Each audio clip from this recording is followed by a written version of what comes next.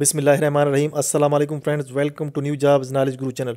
Friends, आज की इस वीडियो में हम आपको बताएँगे federal government employees housing authority में अनाउंस होने वाली ज़बरदस्त आसामियों के बारे में, जिससे पूरे पाकिस्तान से आप लोग अप्लाई कर सकते हैं, ठीक है? इसके लिए आपका डोमिसाइल कहीं का भी हो, पाकिस्तान में आप अप्लाई कर सकते हैं। और इसके लिए जो तालीमी रिक्वायरमेंट है, वो एमएससी या बीएससी से लेके मतलब मास्टर या ग्रेजुएट से लेकर प्राइमरी तक होनी चाहिए, ठीक है? अगर आप इलिटरेट हैं, अनपढ़ हैं, तब भी आप इन जॉब्स पर अप्लाई कर सकते हैं, लेकिन जो लोग पढ़े लिखे होंगे, उनको थोड़ी सी तरजीह दी जाएगी। तो सबसे पहले हम जो ऊपर वाली पोस्ट हैं, ज़्यादा तालीम वाली, उससे स्टार्ट करेंगे और लोअर की तरफ़ जाएँगे, ठीक है? जो प्राइमरी है, उसकी तरफ़ जाएँगे। तो हम आपको सिर्फ़ इसमें जो main name of the post number of the post ये बताएँगे। बाकी डिटेल आप खुद देख लें, ठीक है? मेन जो तरीका हम आपको अप्लाई करने का तरीका बताएँगे कि आपने इन जॉब्स पे अप्लाई किस तरह करना है, वो भी हम आपको इस वीडियो में बताएँगे, ठीक है? एप्लीकेशन का तरीका। तो आपने क्या करना है, ठीक है? सबसे जो पहली पोस्ट है, वो है हॉर्टिकल्चर सुपरवाइज़र, एक नंबर ऑफ़ पोस्ट वन है। इसमें नंबर ऑफ़ पोस्ट आप खुद देख लें कि किस सूबे की कितनी पोस्ट है, मेरिट पे कितनी है, ठीक है? इसमें कोटा भी दिया गया है, ठीक है? हार्टिकल्चर सुपरवाइज़र है, इसकी एक पोस्ट है और इसकी तालीमी रिक्वायरमेंट डिप्लोमा या B S C agriculture horticulture. इसके बाद है ड्रोन कैमरा सुपरवाइज़र, इसके लिए एक पोस्ट है मेरिट की और बाकी तालीम आप खुद देख लें। इसके बाद इंस्पेक्टर रेवेन्यू, चार पोस्ट हैं और इसके लिए ग्रेजुएशन तालीम आप खुद देख लें। इसके बाद है बिल्डिंग इंस्पेक्टर इसके लिए डी सिविल डिप्लोमा सिविल का चाहिए और बिल्डिंग इंस्पेक्टर इसकी पोस्ट है, तीन पोस्ट हैं। इसके बाद असिस्टेंट है, आठ पोस्ट हैं और इसके लिए जो तालीम है, वो आप यहाँ से देख लें। इसके बाद स्टेनोटाइपिस्ट हैं, सोलह पोस्ट हैं। इसके लिए भी तालीम आप खुद देख सकते हैं। Next computer electrical mechanical civil technician ठीक है, चार पोस्ट हैं। इसके लिए एफ़ एस प्री इंजीनियरिंग या डिप्लोमा होना चाहिए आपके पास, ठीक है? ये भी आप यहाँ से देख लें खुद। इसके बाद है सब इंजीनियर सिविल एंड इलेक्ट्रोमैकेनिकल ग्यारह पोस्ट हैं। हर सूबे की पोस्ट हैं इसमें और इसमें डिप्लोमा चाहिए रिलेवेंट फ़ील्ड में। नेक्स्ट है सुपरवाइज़र मेंटेनेंस ठीक है? बेसिक पे स्केल चौदह है इसकी, और दो पोस्ट हैं, और तीस ईयर लिमिट है, और सेकेंड क्लास डिग्री चाहिए। इसके बाद डेटा एंट्री ऑपरेटर इसकी भी डिटेल आप यहाँ से देख लें, ठीक है? अब बढ़ते हैं नेक्स्ट पोस्ट की जाने। हम मैं जल्दी जल्दी इसलिए बता रहा हूँ कि मैंने मेन तरीका जो है अप्लाई करने का तरीका बताना है आपको इस वीडियो में। इसके बाद है यू डी सी ग्यारह स्केल है, तेईस पोस्ट हैं इसमें, ठीक है? और ये इसके लिए तालीम रिक्वायर्ड है। इसके बाद जूनियर ड्राफ्टमैन ठीक है? मैट्रिक चाहिए डिप्लोमा मैट्रिक से डिप्लोमा चाहिए, ठीक है? और दो पोस्ट हैं, इसके बाद है सुपरवाइज़र ठीक है? सीनियर सुपरवाइज़र ग्यारह स्केल है। इसके बाद सर्वेयर सॉरी सीनियर सर्वेयर ग्यारह स्केल है। फिर सर्वेयर है, चौदह नंबर पे नौ स्केल है, ठीक है? सात है मेरिट की पोस्ट इसके बाद एलडीसी है। सबसे ज़्यादा पोस्ट जो है एल के इन जॉब्स में।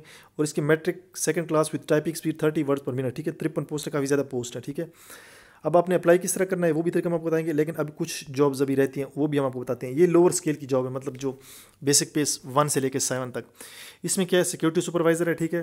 नंबर एक पे आठ पोस्ट हैं, इसके बाद ड्राइवर है, तीन पोस्ट हैं डीएमओ है वायरमैन है ट्यूबवेल ऑपरेटर या वालमैन है प्लम्बर है मेज़न मिस्त्री है कारपेंटर है, ठीक है? इसके बाद नायब कासिद है हेल्पर है, माली है सिक्योरिटी गार्ड है। अब इनके लिए जो तालीमी रिक्वायरमेंट है, ये नंबर ऑफ़ पोस्ट हैं आप खुद देख लेंगे, कितनी कितनी पोस्ट है हर सूबे की, ठीक है? ये सारी मेरिट में बल्कि, यहाँ से लेकर, ठीक है, दो से लेके और नीचे तक ये सारी मेरिट पे हैं। इसमें आप जिधर से भी हैं, पाकिस्तान से आप अप्लाई कर सकते हैं। इसके लिए जो दो से लेके और सात तक मिडिल पास विद डिप्लोमा चाहिए, ठीक है, तालीम। लेकिन जो आठ से लेके बारह तक हैं, इसके लिए आपको मिडिल या सिर्फ़ प्राइमरी तालीम चाहिए, ठीक है? ये तालीम आप यहाँ से देख सकते हैं कि आपकी तालीम कितनी होनी चाहिए। तो आपने अप्लाई किस तरह करना है? हम अप्लाई करने का तरीका आपको बता देंगे। पहले हम ये पढ़ लेते हैं थोड़ा सा। आपने इस वेबसाइट पर जाना है। ये F E F G E H A की वेबसाइट है और वहाँ पर ये बैंक डिपॉजिट भी पड़ा होगा एप्लीकेशन फॉर्म भी पड़ा है। आपने अप्लाई करना है, ठीक है, वहाँ पे स्लिप जनरेट होगी। वो स्लिप आपने बैंक में जमा करानी है। सौ रुपये उस पर ऑलरेडी लिखे होंगे और ये कोड भी ये जो बैंक अकाउंट नंबर है, ये भी लिखा होगा। आपने सौ रुपये जमा कराने हैं। बाकी तरीका हम आपको ऑनलाइन बताते हैं कि किस तरह आपने अप्लाई करना है, ठीक है? आपने जाना है, ठीक है? सबसे पहले आपने जाना है गूगल पर ठीक है? ये आपने गूगल में जाना है। ठीक है? गूगल में लिखना है F E ji H A जिस तरह ये मैंने लिखा हुआ है, ठीक है? ये लिखना है, आप लिखेंगे ये तो इसको प्रेस करना है। सबसे जो ऊपर वेबसाइट आएगी, ये वाली F G E H A dot G U dot P K इसको आपने क्लिक करना है। अब जैसे क्लिक करेंगे, ये वेबसाइट खुल जाएगी। थोड़ी देर वेट करते हैं, ये थोड़ा मसला कर रहा है, इसको ख़त्म होने दे, ठीक है? ये थोड़ी देर बाद ख़त्म हो जाएगा। थोड़ी देर वेट करेंगे क्योंकि मैं ऑनलाइन अप्लाई कर रहा हूँ, ठीक है? इसको हटने दें। जब ये हट जाएगा तो आपने यहाँ पे कैरियर में जाना है। कहाँ पे? ये कैरियर में। ठीक है, ये मोबाइल के थ्रू मैं अप्लाई कर रहा हूँ। जो लोग दोस्त मोबाइल पे अप्लाई करना चाहते हैं, उनके लिए तरीका है। आप लैपटॉप से भी अप्लाई कर सकते हैं। आपने जाना है कैरियर में, ठीक है? यहाँ पे कैरियर में आपने कैरियर को प्रेस करना है। आपने जैसे कैरियर को प्रेस करेंगे तो नीचे ये कैरियर आ जाएगा और यहाँ पे वो जॉब्स हैं, ठीक है? ये जॉब्स हैं। आपने सबसे पहले चालान फार्म ये वाला चालान फार्म है, ये डाउनलोड करना है। जब तक ये डाउनलोड नहीं करेंगे और जमा नहीं करेंगे बैंक में तब तक आप अप्लाई नहीं कर सकते, इसका कोई फ़ायदा नहीं। सबसे पहले आपने चालान फॉर्म डाउनलोड करना। मैं अब चालान फॉर्म को क्लिक करूँगा। ये चालान फॉर्म डाउनलोड हो जाएगा मेरे पास, ठीक है? ये चालान फार्म है, ठीक है? अब चालान फार्म आपने फिल कैसे करना है? ये तीन है, एक कैंडिडेट की कापी है, एक ऑफ़िस की कापी और एक बैंक की कापी है। आपने इधर डेट लिखनी है, ठीक है? नेम बड़े लेटर्स में, ब्लॉक लेटर्स मतलब जो बड़ी एबीसी होती है, जो लोग मैट्रिक या लोअर हैं, उनके लिए बता रहा हूँ मैं। कॉन्टैक्ट नंबर लिखना है सीएनआईसी नंबर लिखना है, ठीक है? यहाँ पे मोबाइल नंबर सीएनआईसी और यहाँ पे पोस्ट ज़रूर लिखना है, किस पोस्ट के लिए आपने अप्लाई करना है? और बाकी बैंक में आपने जमा करा देनी आपको दो कापियाँ मिल जाएगी बैंक वाली एक कापी अपने साथ रखेंगे। अब वो कापी जो आपको मिल जाएगी, आपने उसका करना क्या है, ठीक है? अब आपने दोस्तों ये करना है कि जो आपको कापी बैंक वाली देंगे, जो जिस पे आपने सौ रुपये सबमिट किया जिस पे बैंक की स्टैंप लगेगी, आपने वो इसके साथ लगानी है। वो किस तरह लगेंगे अब मैं अप्लाई करने का तरीका बताता हूँ आपको। ये एप्लीकेशन फॉर्म है, ठीक है? अब मैं यहाँ पे अप्लाई करने का तरीका बताता हूँ, ठीक है? मैं यहाँ पे लिखता हूँ, मैंने फ़र्ज़ी नाम लिखा है, ठीक है? मैंने फ़र्ज़ करो आमिर आमिर ख़ान, ठीक है? मैं नाम लिख देता हूँ, फिर इसके बाद फादर नेम लिख देता हूँ, राशिद जान, ठीक है? मैं फ़र्ज़ी ये नाम है, ठीक है? इसमें किसी का मैं नाम लिख रहा है। इसके बाद सी सी लिखूँगा मैं, ठीक है? सी एन आई सी मैं लिखूँगा ग्यारह। ये मैंने सी एन आई सी लिख दिया, ठीक है? सात। ये मैंने फ़र्ज़ी लिखा है, ठीक है? इसके बाद मैंने जेंडर सेलेक्ट कर लेना है मेल या फीमेल मेल आ जाएगा, ठीक है? नेक्स्ट आ जाएगा सेलेक्ट अप्लाइड पोस्ट मैं फ़र्ज़ करो स्टीनोटाइपिस्ट के लिए मैंने किया, ठीक है? स्टीनोटाइपिस्ट के लिए। अब स्टीनो टाइपिस्ट के लिए मैंने अप्लाई किया रिक्वायर्ड क्वालिफिकेशन इसके क्वालिफिकेशन क्या है? Second class bachelor degree required है, ठीक है? वो मेरे पास है। मैंने ये क्लिक कर लेना है। अगर फ़र्स्ट है, तब भी आप सेकंड क्लास क्योंकि ये मिनिमम रिक्वायरमेंट है। अगर आपके पास हायर क्लासिफिकेशन है, फिर तो और भी अच्छा क्वालिफिकेशन इसके बाद हायर क्वालिफिकेशन जो लोग मैट्रिक पास हैं, वो इसको छोड़ दें, ठीक है? वो इन चीज़ को छोड़ दें स्टेनोटाइपस को छोड़ दें, ठीक है? ये ये उनके लिए हैं जिन्होंने अपनी हायर क्वालिफिकेशन लिखनी है। अगर आपकी क्वालिफिकेशन सिर्फ़ मैट्रिक तक है तो आपने यहीं पे, आपने आगे नहीं लिखना, ठीक है? इसको छोड़ देना है। अगर आपकी क्वालिफिकेशन है तो तब आपने ये खाना फिल करना है। फ़र्ज़ करो आपकी क्वालिफिकेशन है तो आपने मास्टर लिख लेना है, ठीक है? मेरी क्वालिफिकेशन है, फ़र्ज़ करें मैं मास्टर लिख देता हूँ। इसके बाद ड्राइविंग ये एलटीवी जो है, सिर्फ़ ड्राइवर्स के लिए है। जो ड्राइवर की पोस्ट है, उनके लिए रिक्वायरमेंट है। जो ड्राइवर के लिए अप्लाई नहीं कर ले, वो उन्होंने इसको खाली छोड़ देना मैं इसको खाली छोड़ देता हूँ, ठीक है? जो ड्राइवर के लिए अप्लाई करेंगे, उसने इसको फिल करना है। फिल किस तरह करना है? यस या नो करके, ठीक है? लाइसेंस इसके बाद टाइपिंग शॉर्ट हैंड हाँ जो लोग स्टेनोटाइपिस्ट वगैरह या L D C D O इनके लिए डी ओ और एल डी सी के लिए सिर्फ़ ये खाना है। मैं इसको क्लिक करता हूँ, ठीक है? फ़र्स्ट करो थर्टी वर्ड्स पर मिनट ठीक है L D C for D O stenotypist है मेरा। मैंने स्टेनोटाइपिस्ट को क्लिक करूँगा, क्योंकि मैंने स्टेनोटाइपिस्ट के लिए अप्लाई किया है। इसके बाद डेट डेट अपनी किस तरह फिल करनी है? आपने बिल्कुल इस तरह फिल करनी है, ठीक है? ज़ीरो एक, ये इस तरह।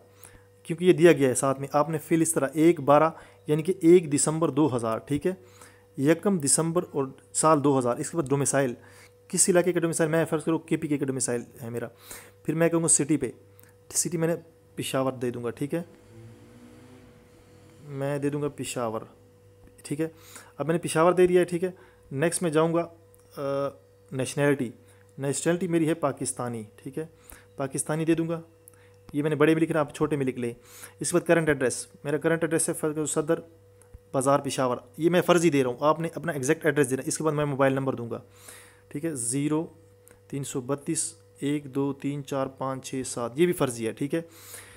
इसके बाद मैं नेक्स्ट दूँगा ईमेल एड्रेस ठीक है? ईमेल एड्रेस दे देता हूँ। फ़र्ज़ करें मैं ये भी फ़र्ज़ी दे देता हूँ। ठीक है? साद one, two, three at the rate at the rate की तरह at the rate Gmail dot com ठीक है? ईमेल भी आपने देना है, ठीक है? ये मैंने दे दिया। इसके बाद चालान डेटेड जो आपने चालान हाँ ये ज़रूरी चीज़ है। जो आपने चालान है, उसकी आपने डेट देनी है। फ़र्ज़ करें मैंने आठ को चालान फिल किया, ठीक है? चालान की जो डेट है, जिस डेट को आपने बैंक में चालान जमा किया, ठीक है? 2021 8 फरवरी को मैंने फ़र्ज़ करें, ये चालान जमा किया, ठीक है? अब ये बहुत ही इंपॉर्टेंट चीज़ है। आपने चालान जो अटैच चालान, इसमें क्या करना है आपने?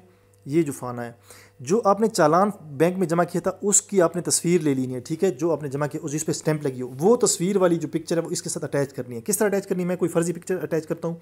ये मैंने चूज़ की, ठीक है? ये मैंने चूज़ की, फिर डॉक्यूमेंट में गया। फ़र्ज़ करें मेरे पास यहाँ पे स्क्रीनशॉट में कोई पिक्चर है। मैं वो पिक्चर दे देता हूँ, ठीक है? ये वाली पिक्चर मैं दे देता हूँ, ठीक है? ये मैंने पिक्चर दे दी, मैंने फ़र्ज़ी दे दी, ठीक है? आप लोगों ने वो पिक्चर देनी है जो आपने बैंक में सबमिट की थी, उस चालान फार्म की, ठीक है? पिक्चर लेनी है। इसके बाद आपने सी वी जो जिन लोगों की सी वी है, जो हायर पोस्ट के अप्लाई करें वो अपने सी वी यहाँ पर अटैच करते हैं जिस तरह मैंने ये फ़ाइल अटैच किया और जो लोग लोअर पोस्ट के लिए अप्लाई कर रहे हैं ड्राइवर वगैरह या जो स्वीपर हैं इनके लिए सी वी नहीं चाहिए, उन, वो सी वी ना अटैच करें। लास्ट पे आपने सेव एंड प्रिंट कर लेना है, ठीक है? सेव एंड प्रिंट अब आप जैसे सेव एंड प्रिंट करेंगे, ये मैंने दबा दिया सेव एंड प्रिंट ठीक है? मेरे, मैंने दबा दिया, थोड़ा सा टाइम लेगा ये तो मेरे पास फॉर्म जो एप्लीकेशन फॉर्म मेरा कंप्लीट हो जाएगा। ये मेरा एप्लीकेशन फॉर्म कंप्लीट हो गया, ठीक है? ये अब मेरी एप्लीकेशन यहाँ पे लिखा आ रहा है। Your application has been submitted successfully मेरी एप्लीकेशन कंप्लीट हो गई, ये सारी मेरी डिटेल आ रही है, ठीक है? लेकिन एक चीज़ याद रखें कि आपने पहले बैंक में पैसे जमा करने, अब आपकी एप्लीकेशन फॉर्म कंप्लीट हो गई है। आपने इसका प्रिंट ले लेना है, ठीक है? ये प्रिंट फॉर्म ये यहाँ पे आ रहा है। इसका प्रिंट ले लेना है, अपने पास रख लेना है। और जो चालान फॉर्म है, वो भी अपने पास रख लेना है, ठीक है? वो टेस्ट वाले दिन आप दिखा सकते हैं उन्हें, ठीक है? ये एप्लीकेशन फॉर्म कंप्लीट हो गया। तो दोस्तों, ये था एप्लीकेशन का तरीका। मिलते हैं, इंशाल्लाह नेक्स्ट वीडियो में। तब तक के लिए इजाज़त दीजिए। अल्लाह हाफिज़।